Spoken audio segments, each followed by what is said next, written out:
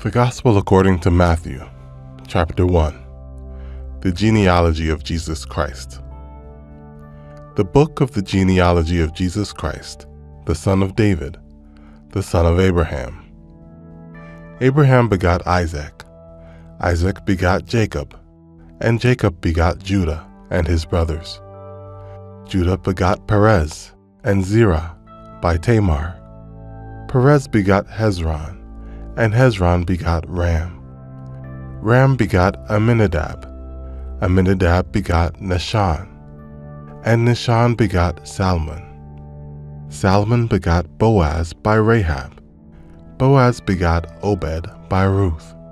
Obed begot Jesse. And Jesse begot David the king. David the king begot Solomon by her who had been the wife of Uriah.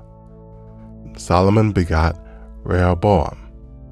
Rehoboam begot Abijah, and Abijah begot Asa. Asa begot Jehoshaphat. Jehoshaphat begot Joram, and Joram begot Uzziah. Uzziah begot Jotham. Jotham begot Ahaz, and Ahaz begot Hezekiah. Hezekiah begot Manasseh. Manasseh begot Amon, and Amon begot Josiah. Josiah begot Jeconiah and his brothers about the time they were carried away to Babylon. And after they were brought to Babylon, Jeconiah begot Shealtiel, and Shealtiel begot Zerubbabel. Zerubbabel begot Abiud.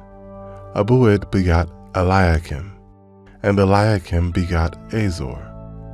Azor begot Zadok, Zadok begot Achim, and Achim begot Eliud. Eliud begot Eleazar. Eleazar begot Matthan, and Matthan begot Jacob. And Jacob begot Joseph, the husband of Mary, of whom was born Jesus, who is called Christ.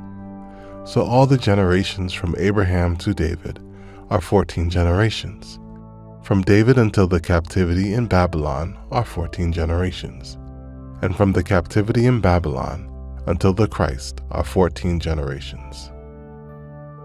Christ born of Mary. Now the birth of Jesus Christ was as follows. After his mother Mary was betrothed to Joseph, before they came together, she was found with child of the Holy Spirit. Then Joseph, her husband, being a just man, and not wanting to make her a public example, was minded to put her away secretly. But while he thought about these things, behold, an angel of the Lord appeared to him in a dream, saying, Joseph, son of David, do not be afraid to take to you Mary your wife, for that which is conceived in her is of the Holy Spirit.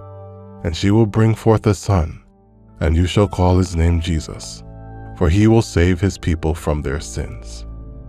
So all this was done that it might be fulfilled, which was spoken by the Lord through the prophet, saying, Behold, the virgin shall be with child, and bear a son, and they shall call his name Immanuel, which is translated God with us. Then Joseph, being aroused from sleep, did as the angel of the Lord commanded him, and took to him his wife, and did not know her till she had brought forth her firstborn son, and he called his name Jesus.